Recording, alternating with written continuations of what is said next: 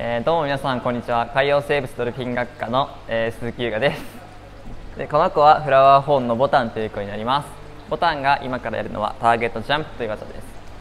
このターゲットにボタンが水面からジャンプしてタッチできたら OK という技です。それではご覧ください。はい、それではやっていきます。まずターゲットをボタンに認識させ、で、確認したら上に持ってきて、ジャンプします。そしてライトをつけて、餌をかけて強行していきます。続いて上から見ていきましょう。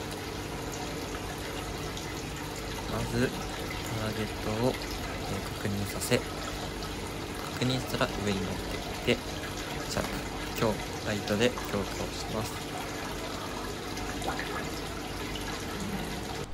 いかがでしたでしょうか？え今後は1年生に引き継ぎをするので、え来年はどんな技ができるのかこうご期待です以上です。ありがとうございました。